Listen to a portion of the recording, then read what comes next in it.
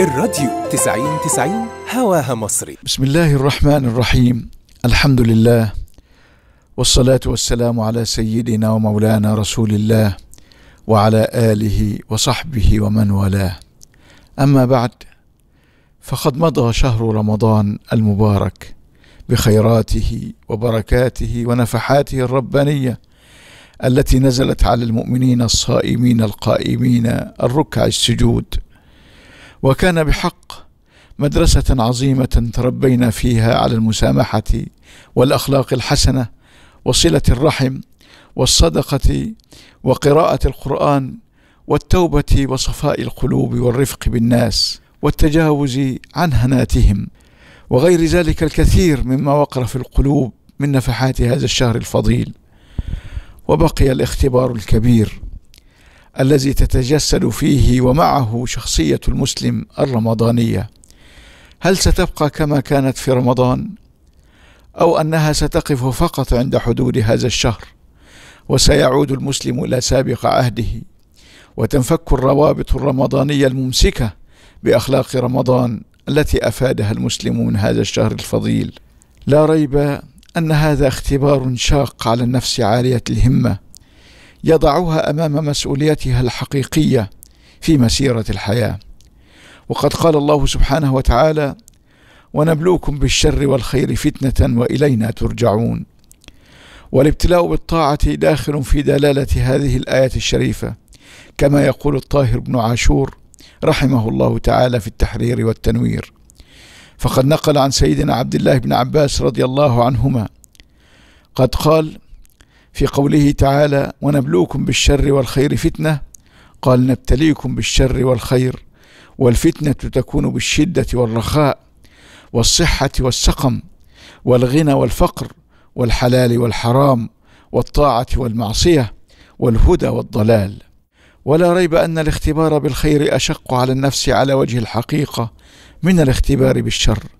فإن النفس تأخذ حذرها وتستعد بقواها العديدة لمواجهة الأزمات والشدائد لكنها تكون على غير ذلك عند اليسر والرخاء والحلال والطاعة فإنها أي الطاعة قد تورث عند بعض النفوس الارتكان إليها اعتمادا عليها مما يؤثر سلبا على المداومة على العبادات والأخلاق كما كانت قبل ذلك.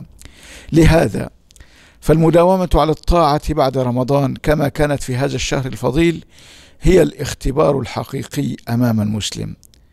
ولهذا شاع كثيرا القول بأن رب رمضان هو رب شوال ورب سائر الشهور. فعبادة الله سبحانه وتعالى لا تكون في رمضان فقط بل تكون فيه وفي غيره على نمط واحد من التناسق والتمام في كل الشهور. ومع أن رمضان بروحانياته العالية التي تأخذ القلوب إلى ساحة الرضا وتتعب معها الأجساد يكون أكثر في العبادة إلا أن الاستمرار عليها. والاستفادة من هذا الشهر الفضيل في غيره من الشهور هو عبادة أخرى لما يكون فيه حينئذ من مجاهدة للنفس والهوى وهو من أعظم العبادات.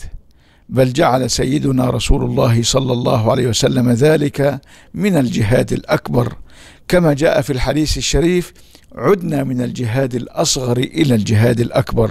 هذا هو الاختبار الحقيقي للمسلم فيما بعد رمضان.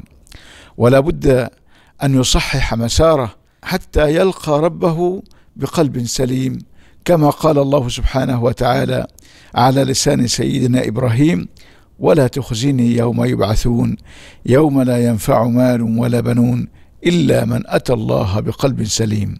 اللهم اصلح لنا ديننا الذي هو عصمة أمرنا وأصلح لنا دنيانا التي فيها معاشنا وأصلح لنا آخرتنا التي إليها معادنا واجعل الحياة زيادة لنا في كل خير واجعل الموت راحة لنا من كل شر يا مجيب دعوة المبتهلين. اللهم اهدنا فيمن هديت وعافنا فيمن عافيت وتولنا فيمن توليت.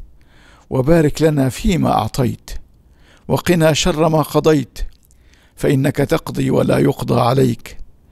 إنه لا يذل من واليت ولا يعز من عاديت. تباركت ربنا وتعاليت. اللهم اجعل جمعنا هذا جمعا مرحوما واجعل تفرقنا من بعده تفرقا معصوما. ولا تجعل فينا ولا منا ولا معنا شقيا ولا محروما. يا كريم.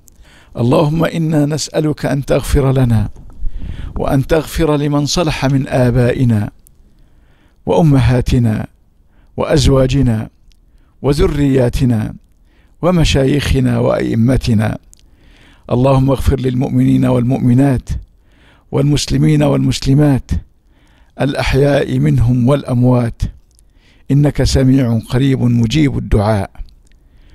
اللهم إنا نسألك بكل اسم هو لك سميت به نفسك أو علمته أحدا من خلقك أو أنزلته في كتابك أو استأثرت به في علم الغيب عندك أن تجعل القرآن العظيم ربيع قلوبنا ونور أبصارنا وجلاء همومنا وذهاب غمومنا وأحزاننا. اللهم ذكرنا منه ما نسينا وعلمنا منه ما جهلنا وارزقنا تلاوته آناء الليل وأطراف النهار. يا حي يا قيوم يا ذا الجلال والإكرام.